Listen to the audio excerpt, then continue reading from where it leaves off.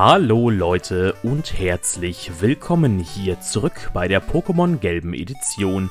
Wir befinden uns, wie man unschwer erkennen kann, hier in Fuxania City. Ich glaube, ich gewöhne mir das ab und zu mal an, auch in weiteren Pokémon-Editionen immer mal wieder die Karte zu Rat zu fragen, äh, zu Rate zu ziehen, wenn ich zeigen will, was wir so in der letzten Folge getan haben. Jedenfalls sind wir in Fuxania City angekommen und uns fehlt hier eigentlich nur noch der Arena-Orden, bevor es uns gen West Nordwesten zieht über den Radweg und genau deswegen schnappen wir uns den heute doch einfach mal. Hey, ein Champion B. Nanu, sieh dich mal um. Alle Trainer sehen aus wie die Arenaleiterin Janina. Welche davon ist die echte Janina? Ja, das ist eine sehr gute Frage. Ich meine... Ja, sie ist es nicht. Reingelegt. ja, ich wusste, dass du es nicht bist, aber ich möchte dir trotzdem alle Trainer herausfordern. Einfach weil Erfahrungspunkte. Nö, Kollege Bisasam. Ach Gott, die sind ja auch nur so schwach. Ich habe gehofft, die sind hier wenigstens ein bisschen besser. Na gut, dann machen wir das Kleinvieh mal mit Kopfnuss weg. Das sollte hoffentlich klappen. Und wenn dann irgendwas Gefährlicheres kommt, greifen wir dann auf Psychokinese zurück, wie zum Beispiel Bisaflor. Ist wahrscheinlich nicht allzu gefährlich im Level 34. Das hätte sich noch nicht mal entwickeln dürfen. Oder? Oder 32. Ich komme ehrlich gesagt mit den Entwicklungen der Anfangs-Pokémon ein bisschen durcheinander. Aber war es in der ersten Generation nicht noch alle 36? Ich, ich habe wirklich keine Ahnung, sorry, wenn ich hier jetzt Mist erzähle. Ähm, ich setze einfach nochmal Psychokinese ein, besiegt das Bisa-Knosp auch noch und alle sind glücklich. Ich glaube, das ist ein guter Plan. So, weg damit. Und fertig. Und Trainer Nummer 1 ist besiegt. Die gute Mechthild. Oh, ich hab verloren. Du bist kein Schwächling. Ja, das hätte ich dir auch gleich sagen können. Aber gut. So, ich finde, man sieht die, die Wände doch ganz gut. Ich bin Janina. Woher wusstest du, dass ich die echte bin? Auf in den Kampf. Ja, vielleicht bist du Janina, aber du bist auf jeden Fall nicht die echte Janina. Also nicht die Arenaleiterin Janina. Und außerdem heißt du Cindy, also bist du ja wohl nicht die echte Janina. Ich glaube, die Frau ist ein bisschen verwirrt im Kopf. Na gut, Harald, mach das Nidoqueen mal weg. Schick es auf die Matte.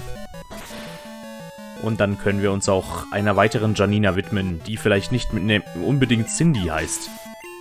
So, sehr schön gemacht. Mach's gut, Cindy. Mist, ich wollte gewinnen. Ja, glaube ich dir. Du? du kannst Gift darauf nehmen, dass ich Janina bin. Ähm, ich glaube, du bist nicht Janina, Kumpel. Ich glaube vielmehr, du bist Till. Aber gut, wenn du davon überzeugt bist, Janina zu sein, dann möchte ich dir natürlich deine Einbildung nicht nehmen. Setz einfach Psychokinese ein, schick der Nidoking auf die Matten und dann lasse ich dich auch schon wieder alleine mit deiner Einbildungskraft. Gar kein Problem. So, vielen Dank für die Erfahrungspunkte. Mach's gut, Till.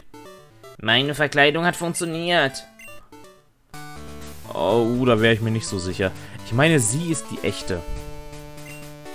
Nein, sie ist die echte, verdammt. Äh, es tut mir leid, dich enttäuschen zu müssen. Ich mache nur Witze. Jetzt geht's rund. Ich bin Janina, Arenaleiterin von Fuxania City. Verdammt. Ich hätte vorher speichern sollen. Die gute Janina möchte kämpfen und schickt als erstes ihr X-Bud in den Ring. Na gut. Dann wollen wir doch mal, ne? Ich glaube, das wird hier ein ähnlicher Kampf werden wie bei Major Bob, dass wir einfach alles One-Hitten werden. Das ist ein bisschen traurig, aber ich gehe leider stark davon aus. Vor allem ist sie vom Level her echt nicht so krass drauf, wie sie, wie ich dachte. Weil man muss ja schon einiges an Weg in Kanto zurücklegen, um hierher zu kommen. Und dass sie dann so doch verhältnismäßig schwach ist, habe ich nicht erwartet. Aber gut, ist, ist in Ordnung. Man muss auch mal leicht gewinnen können, ne? Wenn ich mich so an den zweiten Arenaleiter erinnere, an Kai, den wir nur besiegen konnten, weil er dann plötzlich von Zornklinge auf irgendwas anderes gewechselt hat. Flügelschlag, glaube ich. Ich. Also. Das war ein harter Kampf. Gegen Sandra war es auch nicht einfach. Einfach weil wir die ganze Zeit paralysiert waren. Aber hier in Kanto hatten wir bisher noch kein einziges Problem. So, Omod kommt als nächstes. Bei Omod habe ich tatsächlich immer gedacht, es würde mit vom Typ Psycho sein und ich weiß nicht wieso. Ich habe das immer gedacht, Omod wäre mit Typ Psycho. Aber naja, ist auch nicht so wichtig. Smogmog als letztes.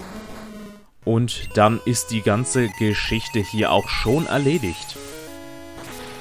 Mach's gut, Smogmog. War schön mit dir gewesen. Solange es währte. Sehr gut. Erledigt.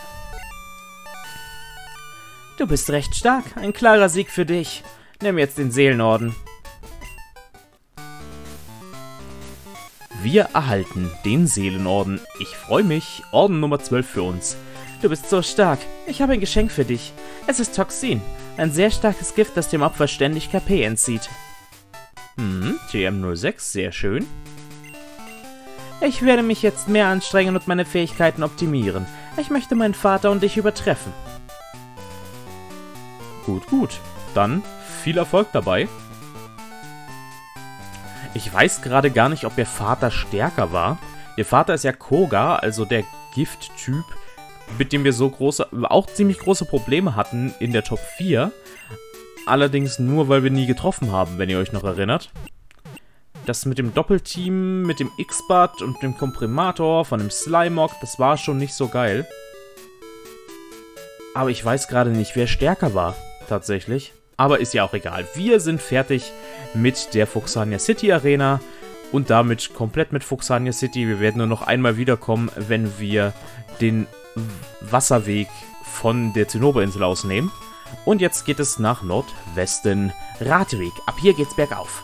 Okay, ja, dann geht's bergauf. Ich freue mich schon, dass es mit uns jetzt endlich mal bergauf geht. Wir sind hier die furchtlosen Helden des Radwegs. Ja, seid ihr das? Das freut mich, aber hier ist doch irgendein Typ, der fünf Pokémon hat, ne? Fridolin, was ein Name für, für einen Biker. Meine Güte. So, ich bin gespannt. Wir sind 21 Level drüber. Es könnte also reichen. Kopfnuss. Gerade so nicht. Wow. Also ehrlich, wow. Na gut, dann benutze ich halt meine Psychogenese, ne? Also mir ist es egal, aber... Ich habe halt gehofft, AP sparen zu können. Naja, es soll nicht sein. Smogon hat halt eine höhere Verteidigung. Und dann haben wir keine Step-Attacken mehr und dann ist das alles doof. So, Glutexo, du kriegst mal einen Spukball ab. Da können wir wenigstens auf unseren Spezialangriff zurückgreifen. Und dann sollte das reichen, genau. Ich weiß gar nicht, wie sich Geistattacken auf Gift-Pokémon verhalten. Smogmog, okay, da werde ich es nicht rausfinden. Hier greife ich direkt auf Psychokinese zurück. Und guck mal, so viel schwächer ist dieses Smogmog gar nicht im Gegensatz zu Janinas. Das ist... ja. Ja, die Giftarena war nicht so die größte Hürde. Ah, Bumm und Krach. Warum sagt man sowas? Bumm und Krach. Na gut, reisen wir doch einfach einmal nach oben und nehmen ein paar Trainer mit, die wir hier so finden, wie zum Beispiel dich. Hey, wie wär's mit einem Schnellkampf? Ja, von mir aus nichts dagegen. Hm? Hector. Oh nein. Das erinnert mich wieder an den, an den Hund von unserer ehemaligen Nachbarin. Wo man sich wie, wie in Troja fühlte, wenn der Hund nicht gehört hat. Ganz grausam. Aber gut.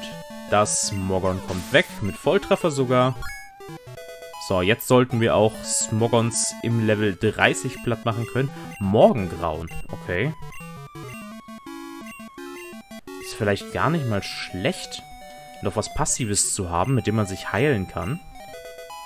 Weiß nicht. Biss würde ich eh nicht mehr benutzen. Weil wir für unsere... Weil wir für Geist-Pokémon jetzt Geistattacken haben, die wir einsetzen können. Die effektiver sind als Biss. Also von daher Warum eine Attacke behalten, die man sowieso nicht einsetzen würde? Bringt halt nichts. So, und noch ein Smogmog an letzter Stelle. Komm, ich probiere es jetzt trotzdem bei diesem Smogmog aus. Einmal Spukball, mal gucken, wie viel das abzieht. Also ist auf jeden Fall schon mal normal effektiv, aber bringt nicht so viel, wie man sehen kann. Na? Na komm, ja. Das wär's gewesen. Mach's gut, Hector. Hector! Ups, du hast ganz schön Kraft. Ja. Hab ja auch Troja bekämpft. Muss man Kraft haben. Funktioniert. Nee, funktioniert hier nicht. Ich würde gerade sagen, funktioniert das hier eigentlich auch, dass man B drückt und dann auf dem Radweg stehen bleibt. Aber dem ist nicht so gewesen. So, da haben wir den Kumpel. Ja, dann schnapp ich mir den direkt mal. Hi. Hey, du, bist du aus Yoto? Ähm, ja, wieso? Ein Pokémon von Hannes. Ein Smogmog. Okay, hallo Smogmog. Guck mal, das hier ist Harald und der kann dich ganz schön mit seiner Psychokinese auf die Matten schicken. Mach es gut, Kollege. Wisst ihr, so rückwirkend hätte ich wahrscheinlich, wenn, wenn ich mir so die, die Werte von Psyana und äh, von unserem Flamara angucke, ähm, boah, du legst aber los. Ja, das tue ich, weil ich aus Johto komme. Nee, wenn ich mir die Werte von unserem Psyana und unserem Flamara so angucke, wäre es wahrscheinlich klug gewesen, unser äh, tatsächlich einmal einfach zu tauschen, dass unser Psyana zu Flamara wurde, wird. Aber das ist jetzt vorbei. Ich habe mir es so ausgedacht und äh, dass genau unser Harald unser erstes Pokémon Psyana wird und das gezüchtete Flamara. Ja, ich hätte es andersrum machen sollen. Rückwirkend bedacht, aber nein, ist auch egal. Wow, das ist ein tolles Fahrrad. Ja, danke. Finde ich auch. Manuel. Mit seinem Magma. Hallo, Manuel Magma. Heutzutage Manuel Magma, früher Manuel Neuer. Hat sich alles geändert. So, einmal Spukball. Und hoffentlich weg damit. Ja, reicht. Easy. So. Mach's gut, Kollege. Und noch ein zweites Magma. Und noch ein zweiter Spukball. So einfach kann es gehen. Magma besiegt. Und wir haben es geschafft. Aber du siehst nicht so cool aus. Ja, ich weiß. Ich kann auch einiges. So. Ich werde jetzt einmal den guten, die gute Veggie, ist ja ein Weibchen, Entschuldigung, die gute Veggie nach oben holen und mal mit ihr ein bisschen weiter kämpfen. Ich meine, wir haben hier zwar auf dem Radweg wahrscheinlich nicht mehr so viele Gegner. Nur noch hier oben sicherlich einige. Nicht mal mehr. Okay, das war's schon gewesen. Hui, Radweg. Es geht den ganzen Weg nur bergab. Moin, Kollege. Der Radweg fängt hier an. Es geht nur bergab. Darum ist die Fahrt so erfrischend. Dieses Gefühl kann dir kein Schiff oder Zug vermitteln. Ja, aber ich fahre ja nicht runter, ich fahre ja nach oben. Das ist ja das Problem. Für mich war das anstrengend. So, hier könnten wir Pokémon suchen, tue ich aber nicht. Und hier hatte man Fliegen bekommen ehemals. Am Ende des Radwegs ist Fuxania City. Vielen Dank für diesen wirklich sinnlosen Hinweis. Wenn man gerade aus Fuxania City kommt, ist das echt dämlich. Na gut. Also die Idee war schön, Veggie jetzt vorne zu haben, aber die Umsetzung ist ein bisschen blöd, weil Holger jetzt nach vorne kommt, weil ich jetzt die Arena direkt an den Anfang verlege, bevor wir uns den Rest der Stadt überhaupt angucken. Genau, direkt hier nach unten. Dann haben wir heute zwei Arena-Kämpfe sogar. Das gefällt mir. So. Hey, die Arena ist toll. Sie ist nur für Mädchen. Pokémon Arena von Prismania City. Leitung Erika. Die Prinzessin mit Herz für die Natur. Na, dann wollen wir doch mal. Na, ihr beiden? Wir zeigen dir Pokémon-Attacken, die Erika uns beigebracht hat. Gut, dann macht ihr das mal. Ich habe damit keine Probleme. Dann haben wir hier Lea und Ida. Sarzenia und wahrscheinlich auch noch ein ähm, Giflor. Genau. So, einmal Flammenwurf bitte. Schön das Sarzenia abfackeln. Das ist das zweite Sarzenia. Holger bekämpft bisher nur Satzenias mit Feuerattacken. Auch interessant. So, mach dich weg. Komm, hol das Giflor raus. Ja, war doch logisch, dass das Giflor hier kommt. So, Giflor auch weg. Und damit wäre das erledigt. So, mach's gut, Giflor. Vielen Dank für den Kampf. Das waren gute Erfahrungspunkte. Gegen voll entwickelte Pokémon kämpfe ich sehr gerne. Oh, wir haben verloren. Ja, das habt ihr. Pech gehabt. So, hier haben wir noch zwei. Halt, hier haben nur Mädchenzutritt. Ja, aber wie soll man dann als Kerl dann diesen Orden hier kriegen, wenn man alle Orden braucht? Dann müsste rauskommen. Stefanie. Meine Güte, was meine Schwester hier schon wieder für Zeug macht. Z, Z, Z. Und dann motzt die mich noch an. So kenne ich meine Schwester gar nicht. Das finde ich nicht nett von ihr. Wirklich. So, Popelo weg. Was hat sie denn dann noch so? Hm, ja, ein paar Punga, das dachte ich mir. So. Auch direkt eine Rückkehr weg. Holger ist halt vom Angriff her so stark, dass es, glaube ich, keinen großen Unterschied macht, ob wir die sehr effektive Attacke oder Rückkehr benutzen. Das ist halt schon krass. Und noch ein Hopsbross. Ach, wie putzig. Wie putzig. So, reicht hier sogar bis? Wahrscheinlich ja, ne? Ja, easy. Guck mal, weg damit. So, Stefanie auch besiegt. Ach nee. Ach doch. Andere Seite auch gleich noch mitmachen. Oh, ein Kampf? Das macht mir ein bisschen Angst, aber von mir aus. Ja, äh, wenn du Angst hast zu kämpfen, dann solltest du dich hier nicht in der Pokémon-Arena abstellen, Nicole. Kokowein. Okay. Level 37, also das lässt sich, das kann sich hier echt schon sehen lassen. Also, Prismania City ist eindeutig wesentlich stärker als Fuxania City. Ich frage mich halt wirklich, wieso. Und ich frage mich, in welcher Reihenfolge man die Arenaleiter in Kanto eigentlich besiegen sollte. Weil das weiß ich nicht. Ach, das war's? Ja, das war's schon. So schnell kann's gehen. Und Nummer 4. Hast du die Blumen betrachtet oder mich? Äh, eigentlich habe ich auf Erika geguckt, weil ich in Orden haben will. Wenn ich ehrlich bin.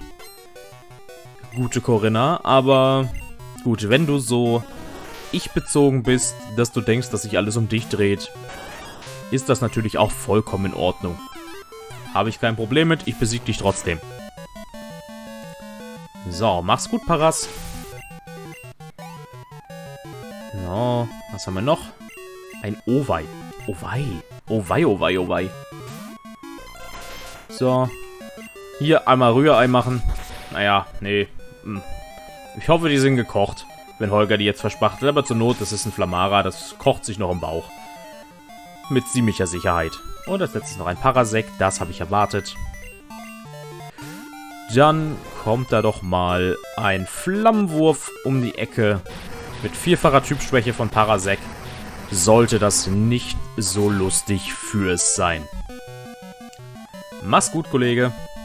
Das wär's gewesen. Ja, Corinna besiegt. Wäre wie ärgerlich. Ja, passiert. Hallo Erika. Hallo. Schönes Wetter, nicht? Einfach herrlich. Ich könnte gleich einschlafen. Ich heiße Erika, ich bin die Arenaleiterin von Prismania City. Wirklich? Den ganzen Weg von Yoto? Wie nett. Oh, entschuldige, ich wusste nicht, dass du gegen mich kämpfen willst.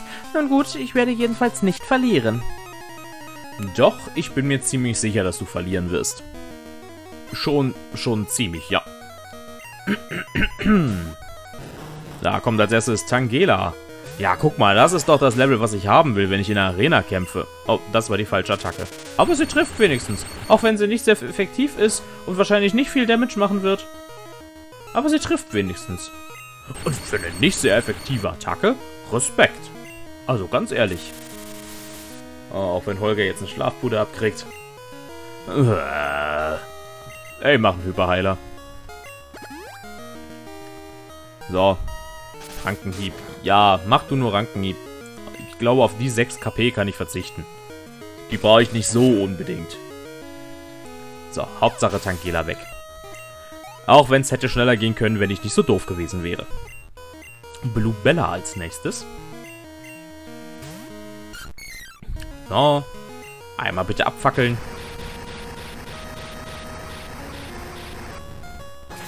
Sind jetzt nur noch sieben Level Unterschied. Hm? Ja, okay, reicht trotzdem. Sehr, sehr gut. 54 für Holger. Ist auch sehr, sehr gut. Satzenia, einmal wieder ein Satzenia. Das sieht doch gut aus. Das macht Holger sicher mit größtem Vergnügen weg. So eingespielt, wie es darauf ist, diese Pflanzendinger hier abzufackeln. Ich freue mich immer noch sehr darüber, dass wir unser Team jetzt endlich komplett ausgemaxt haben. Von den Entwicklungsstufen her. Das finde ich sehr, sehr gut. Und ein Papunga als letztes. Okay. Ich habe mich schon gefragt, ob sie jetzt noch einen Giflor hat, aber sie hat ja schon Bluebella. Ein Papunga ist es. So, so. Na gut. Äh, da ist es auch schon weg. Und ich glaube, jeder von uns hat schon mal eine Pusteblume abgefackelt. Einfach ein Feuerzeug oder so an die an die Flugdinger dran gehalten, sodass sie dann so schön husch, in Rauch aufgeht. Und da wär's das schon gewesen. Oh, ich gebe mich geschlagen. Du bist außergewöhnlich stark. Ich gebe dir den Farborden. Vielen Dank. Oliver erhält den Farborden. Das war ein herrlicher Kampf. Das spornt zu neuen Taten an. Nimm bitte auch diese TM an. Es ist Gigasauger. Es ist eine schöne Attacke. Die Hälfte des zugefügten Schadens wird zur Heilung deines Pokémon verwendet. Verwende sie, wann immer du möchtest. Werde ich tun, vielen Dank. Eine Niederlage ist nicht sehr angenehm, aber es ist ein Ansporn dazu, sich mehr anzustrengen, wenn man weiß, dass es starke Trainer gibt. Ja, das glaube ich auch. Nur gut, dass wir nicht verlieren. So, Freunde, dann haben wir in der heutigen Folge tatsächlich zwei Arena-Orden bekommen den Seelenorden und den Farborden. Und sind damit jetzt auch fast komplett durch mit dem, was man machen kann, bevor man das Kraftwerk wiederhergestellt hat. Jetzt müssen wir nur noch Prismania zu Ende erkunden und dann wäre es das tatsächlich schon gewesen. So. Mal gucken, wie viel wir in der heutigen Folge noch schaffen. Im Restaurant wird ein Wettessen abgehalten. Ihn beim Essen nur zuzusehen bringt mich schon zum Platzen. Okay, hier. Hi, wir halten gerade ein Wettessen ab. Wir können dich im Moment leider nicht bedienen. Na gut. Jetzt ist immer weiter. Nachschub, Chef, vor. Sprich mich nicht an. Du störst meine Konzentration. Quantität ist mir wichtiger als Qualität. Ich bin erst glücklich, wenn ich platze. Das Essen hier ist gut, aber du kannst es nicht jeden Da gibt's die besten Speisen der Welt. Okay.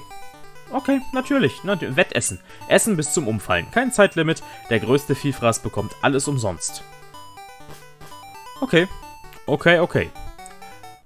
Gut, gut. Wen haben wir hier? Ich habe schon wieder bei dem Spielautomaten verloren. Wir Mädchen spielen auch an den Autom äh, wir Mädchen spielen auch an den Automaten. Versuch's doch mal selbst. Ja, warum sollten Mädels nicht an Spielautomaten spielen dürfen? Na gut. So, Tipps für Trainer. Der Megablock schützt Pokémon vor Spezialattacken wie zum Beispiel Feuer und Wasser.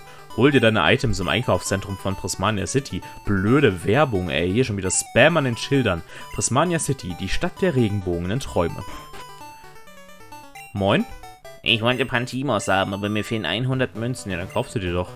Oh, ich muss ruhig Blut bewahren. Wenn ich nur nervös werde, dann könnte ich mein ganzes Geld verlieren. Was gibt's hier so zu kaufen? Willkommen, wir tauschen Münzen gegen fabelhafte Preise ein. TMs, okay. 52 Münzen haben wir noch aus Ducatia. Schön, dass die Münzen auch hier was wert sind. Pantimos, ein Porygon und ein neues Evorik für 6600 Münzen, anstatt dass man sich einfach eins züchtet. Aber gut. Der Spielplatz für jedermann. Spielhalle von Prismania. Die Spielautomaten sind alle hochmodern. Ja. An diesem Automaten will ich spielen.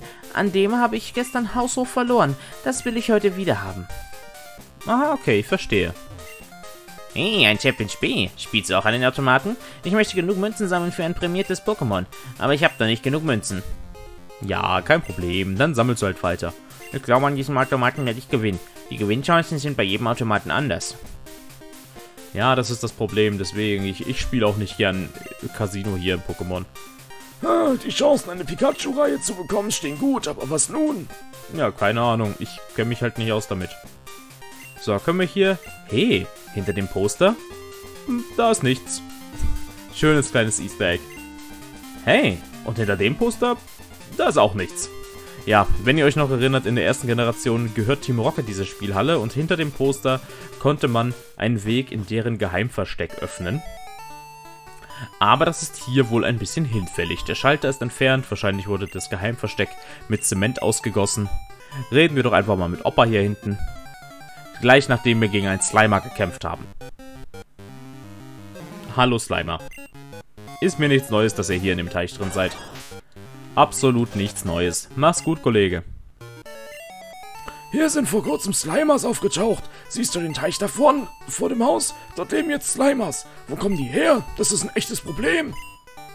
Ja, keine Ahnung, wo die herkommen. Ich kann's dir nicht sagen, Opa. Aber ich kann die wahrscheinlich auch nicht verscheuchen. Jedenfalls wüsste ich nicht, wie es gehen soll. Mir wird ganz schwindlig, wenn ich beim Laufen auf den Boden gucke. Warum guckt man beim Laufen auf den Boden? Man guckt doch, ja, schon so ein bisschen auf den Boden, aber halt nicht direkt. Ihr wisst, was ich meine, oder? Das Einkaufszentrum in Prismania City bietet die größte und beste Auswahl an Artikeln. Was du da nicht findest, wirst du nirgends finden. Herrje, ich klinge wie ein Vertreter. Ja, ich, ich glaube auch, du kriegst wahrscheinlich Provision für alles, was dir im Kaufhaus verkauft wird.